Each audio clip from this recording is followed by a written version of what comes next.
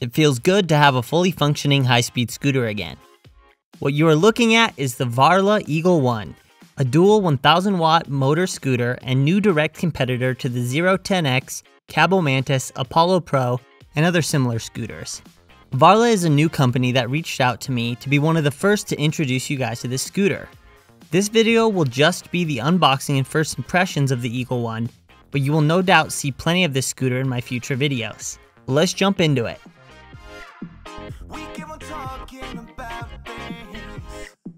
Let me make it clear up front that everything I say in this video and in future videos about the scooter reflects my 100% true thoughts and feelings about the scooter. I owe it to you guys to tell you if a scooter is worth your money and what my actual experience with it is. Varla has encouraged me to push the Eagle One to its limits and give my honest feedback on the scooter, and that's exactly what I intend to do. While I unbox the Eagle One, let me jump right to what is probably on your mind. How is this scooter different from other clones of this scooter on the market? Well, it seems Varla is familiar with the competition because it has undercut the Zero 10X by $100 and has undercut the Apollo Pro by $300, so right off the bat you're saving money. As you can see, they also sent full protective equipment. Knee pads, elbow guards, and wrist guards. I don't wear protective equipment except helmet and goggles while riding as a personal choice, but I'll probably end up trying out the knee pads while mountain biking sometime since I don't own a pair and my knees always get messed up when I bike. The quality of the gear honestly doesn't particularly impress me, but it's free protective gear so it's nothing to sneeze at. The thing that they included that was extra in the box that was the coolest to me was the different grip tape designs that you can choose from. I knew immediately which one was going on my scooter. The other designs are decent, but there was no way I was going for any other design than the dope graffiti design. The colors just give the scooter an immaculate vibe, so props to Varla for the cool little bonus. The rest of the contents of the box are pretty standard. They include a multi-tool, like most other scooters come with, that'll help you get the scooter set up and put together if you don't already have tools. The handlebars come disconnected from the scooter, but the scooter comes fully assembled otherwise. Higher end scooters like this require a good bit of adjusting and tuning before riding. I will be releasing a separate video very soon that will go over adjusting and setting up a new scooter that will include handlebar and cockpit setup, brake adjustment, P setting adjustment, and other important things to do before using your scooter, like checking tire pressure and bedding in your brakes. I want to make it a separate video that you guys can use as a reference and easily find in the future. Stay tuned for that in the next couple days.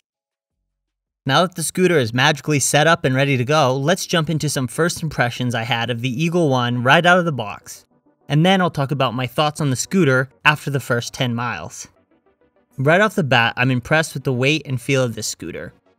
The scooter weighs in around 80-85 pounds, so it's definitely not designed to be portable or easy to carry, but that's exactly how I want it. The extra weight and size of this scooter makes it feel solid and durable. The scooter feels wide and long and has a decent amount more meat on its bones than my other scooter.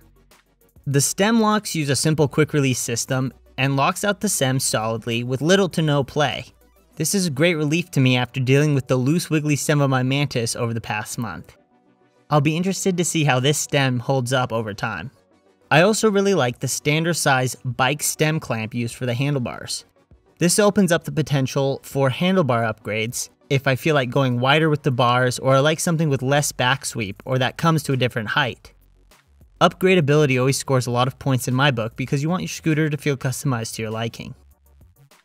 Speaking of upgradability, I usually am quick to switch out handlebar grips that come stock on most scooters, but these locking grips on the Eagle One pleasantly surprised me. The extra bit of grip that sticks out gives a solid surface for your palms to rest on and adds to the stability and comfort of the grips. The little hole in the middle of this extra bit allows you to wrap your finger all the way around. I like its balance of firmness and stickiness, but I do wish that it had more texture on the backside for my fingers. That being said, I'm not planning on switching these out, at least for right now. The thing I do wish I could remove is this keyed ignition switch. I believe that they put these on these scooters for security reason, but the reality is that this key isn't preventing theft. The scooter can just be rolled or carried away. You should always be locking up your scooter with a heavy duty chain or U-lock. The ignition switch is redundant and inconvenient. The key has to stay in the ignition the whole time the scooter is on, just like a car. This means that you either have to have your whole keychain hanging off the scooter the whole time you ride, or you have to take your key off the keychain every time you ride so you don't have the whole keychain swing around while you ride. My solution is going to be to put a single key on a small carabiner that can stay on my keychain and be taken off and put on quickly.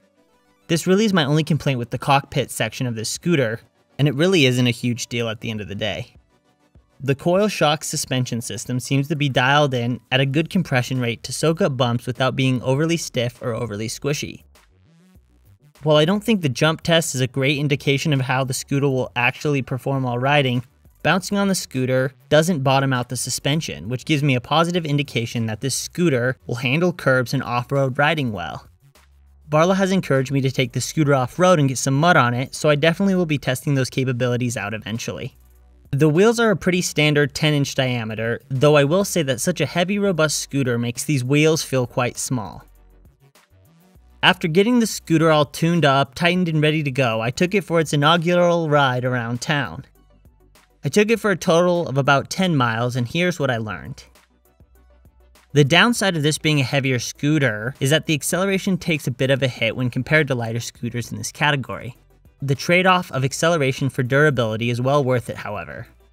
Plus, very few people will be left wanting when it comes to acceleration on this scooter anyway, so it's really a nitpicky point to make. One of the things I noticed immediately while steering was what seems to be an intentional design choice. I doubt it's visible on camera, but when the front wheel is perfectly in line with the body of the scooter, there's a slight feeling of the stem and handlebars locking in place to keep the wheel pointed exactly forward.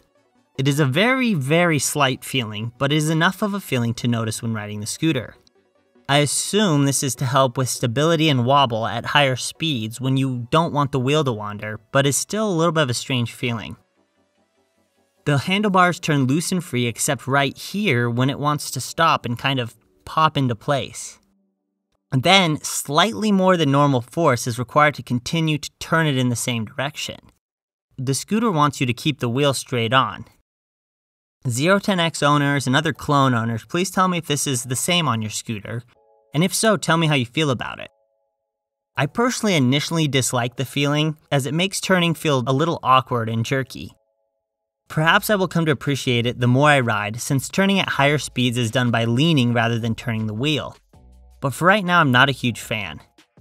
I won't make any rush judgments on it because we are still in early phases and I might end up eating my words later down the road.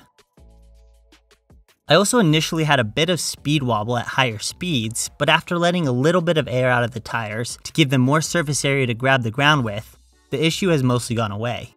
The tires arrived rock solid hard, I think this was due to the elevation change from the shipping location in California, which is at close to sea level, to my location in Utah at 4,500 feet elevation. Once the tires had less air and a little more surface area on the road, the scooter stabilized nicely. I still get the occasional wobble around the 30 to 40 mile per hour mark, which is something I did not experience on my Mantis. While I cannot say exactly what's causing it, I attribute it to the heavier weight and taller deck height of this scooter, pushing the center of gravity higher and amplifying weight shifts at higher speed. The geometry of this scooter isn't doing it any favors either, but geometry is an issue across the entire industry, so that's a topic for another day.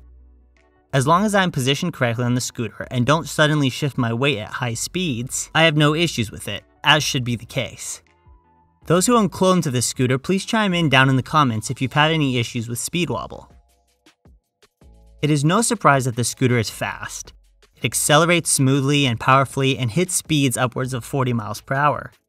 Because of the size and weight of this scooter, high speeds feel more natural while riding. It feels like a scooter that's designed to go fast. It handles hills well as is to be expected from dual motors of this wattage. Frankly, the braking power doesn't quite match the power that the motors give this scooter.